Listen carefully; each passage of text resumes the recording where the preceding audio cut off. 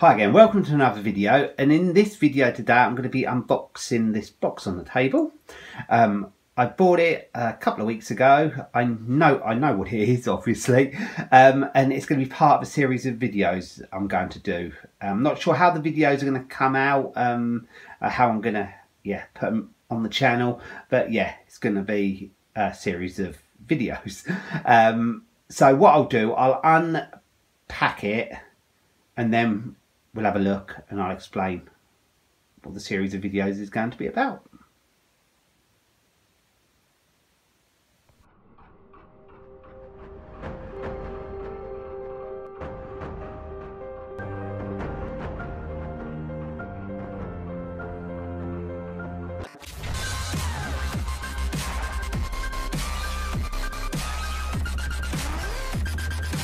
So there's a bit down there, which is part of it, but I'll leave that at the moment because we don't really need to see that. And I'll just undo this. It has put top, we wrapped it up quite well. Um, he didn't actually want to send this, but um, I sort of bought off eBay and I sort of I sort of pushed it for him to to send it. Um, I think I actually mentioned to him that I did want it to do a YouTube video I think that's what actually swayed him to send it. Um, not that he asked my channel or anything. I'm not sure he was interested in this sort of stuff. I think he was clearing his father's house. Um, and there was a little bit of a story to go with this as well. And I'll um, tell you that when we've unwrapped it. That's what he told me in one of the messages anyway. Um, he didn't have much luck with Hermes either. He um, had to re-sort it out to send with um, DPD. I don't never have no trouble with Hermes. I always find they're okay, but some people have a lot of trouble with them. So, yeah, um, I suppose it's different in different areas or whatever. But anyway, it got here, and uh, and he sent it in two separate parts. I'm not really quite sure why he did that because he could have put the other part just on top. But there you go. Um, I was happy with what he charged me for postage, so I wasn't going to argue and it was actually something I was going to um, totally renovate, restore. As part of a sort of just a series of videos just about this one item but um, I probably won't because it looks in better condition than I thought and it'd be a shame to sort of repaint it in that because it's a little it's sort of in survivor condition from what I saw. But we'll know in a second what it's really like. Going to have to just take the box out of the way a little bit and I will have to probably just put something on the table because it might be a bit oily. So I'll be back with you in a second. I haven't unwrapped it any further. I've just put that paper and that back on the table. Like I said, I knew what it was anyway. So there's part of it. Uh, probably give it away a little bit. I'll show you that first. We slightly took it apart. There we go. So it's wrapped up in the box. There's a few other little bits and pieces in there. I don't know how he's done it. I think he could nearly have sent it all together, to be honest. But, you know, just get some people sort of, they over worry about things like this. But you can probably see what make it is if you're clued up with this sort of thing.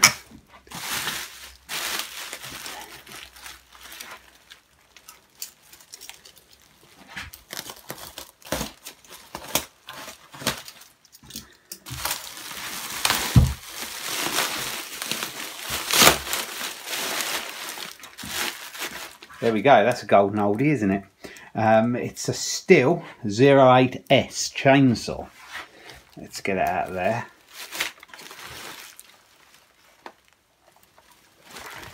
And it's supposed to run, but what I shall do, I shall take it sort of apart to, to a degree, clean everything right down, uh, put new new plug in it. Let's have a look what the plug looks like.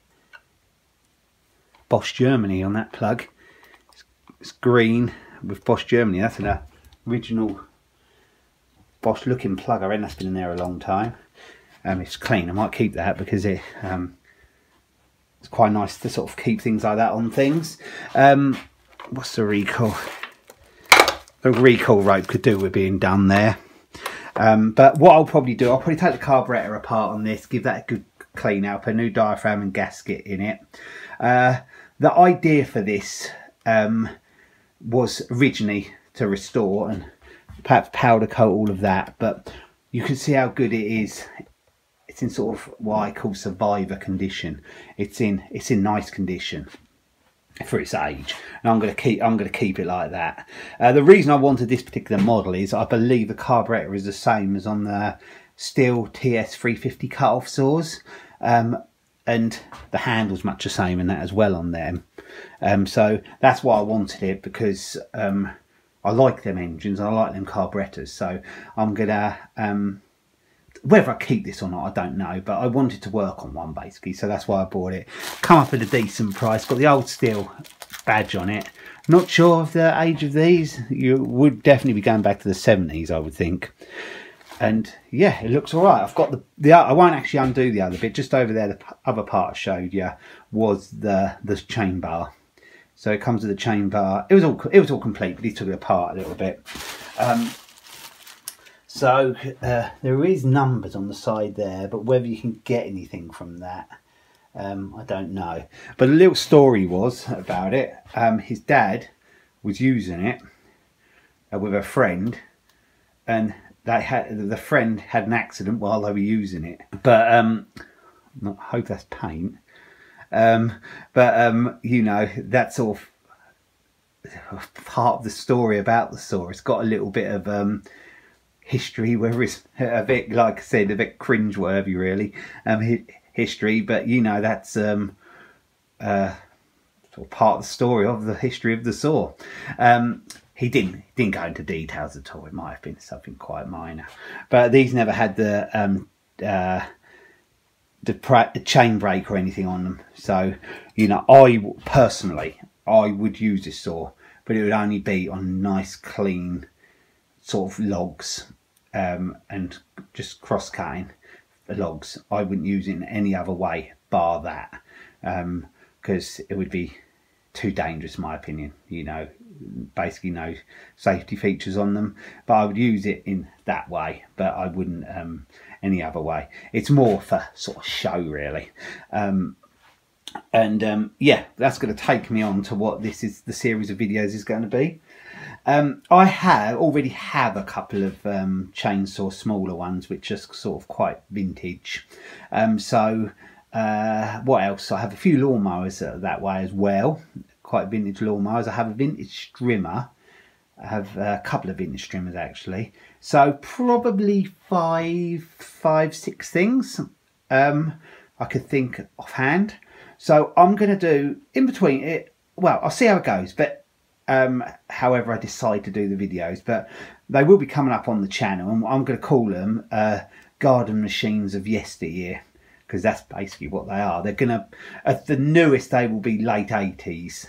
At the oldest, they'll probably might just go back to the 60s, latter 60s. But um, it's hard to date these things because, like this, I'd probably say I'd probably say sort of earlyish 70s at a guess.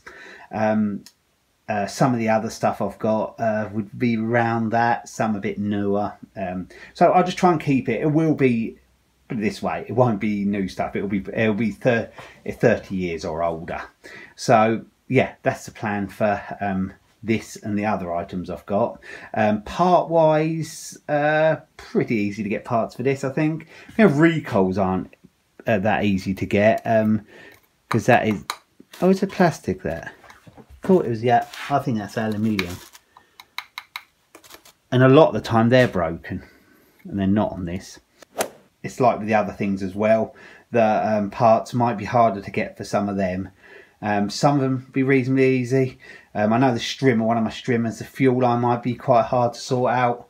Um, so um, if that's the case, I'll have to try and make a fuel line for it. Uh, I can tell you what that is. That is a Stihl. Um, the strimmer is an oldish Stihl. I was given, I was actually given that by a neighbour, and he told me it was a good strimmer, but it it doesn't it does need a bit of work. He was a type of bloke to look after stuff though, so it might have roughly been. It's hard. It's hard because I don't think really from sort of in the sort of late sixties, seventies, uh, sort of early eighties, these machines changed that much. I think it was sort of afterwards, you know, when you got started to get up to the 90s, machines changed a lot and safety features become a lot more uh, prominent on them, uh, which on these older ones, it wasn't thought about nowhere near as much. People just got on with it. Um, and um, yeah, like I said, the um, what I mentioned about the bloke's dad's friend's accident with his saw. Um, yeah, hope for his sake it wasn't too bad. Um, but yeah, like I said, he didn't go into detail, so I'm better off. I'm better off not knowing. Um, so yeah, he told me it was just put away from then. So um, you know, this could have been this could have been in the shed for 20, 30 years. You know, it, um, it's an old saw. We'll have a little bit better look around it. So I'll show you the other side. Heavyish, but not stupidly heavy. All these older uh, bits of equipment do seem to be heavier because they were better made, to be honest. There's very little plastic on this. Yeah, all sort of um, aluminium cast. Um, you can buy pot and pistons from him if you need be, but he assured me, he said it was all alright. I think probably I'll just go outside and start it up. That might be something I will do when I do the video of this one, um, and then just go through the basic service of, of it. Um, if it needs a new chain, put a new chain on it, and then um, decide whether I want to sell or keep. Really, I've got um, I've got a lot of stuff. Will I do I need this? Probably not, but um, we'll see. Um, there's where you put your, I believe, put your chain oil in. I quite like that setup there. Air filter piece at the back, the on-off switch there. That's the same as the uh, Stihl TS350 cut-off saw I've got. Uh, got choke there, all very simple. Petrol down there. Petrol cap down there. Uh, all looks pretty good even underneath. If you look there, oh, where are we? How's that shot? If you look under there, look, it's just you see where it's rubbed off the paint where it's sat, but um, I don't think it's um, worn at all, really, considering the age of it. I think it's had an easy life. So, fortunately for the saw, and not for the the friend involved, I think the saw was kept in pretty good condition due to that because you wouldn't want to use it after that, would you?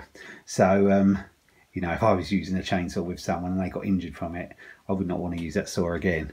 So, I feeling, I've got a feeling that that was the reason that this was put away. So, um, you know, um, but by being that, the saw saw uh, has benefited. um, so um, yeah, I'm going to leave this here. Um, little unboxing video for you, and I explained a little bit some series of a series of videos I want to do. Um, I will get all the stuff um, together. I've got it scattered around different places at the moment, but some nice little vintage. Um, I call them classic stroke vintage tools which, yeah, like I said, were very well made. You know, there's very little plastic on them compared to on stuff today, and they were made to last. But like I said, the safety features on a lot of them was, um, well, non-existent on some. But um, yeah, that's how it was back in the day. It's a part of the history of all these all these tools. So yeah, um, hope you enjoyed this unboxing video, and I'll be along with another video again soon. So bye for now.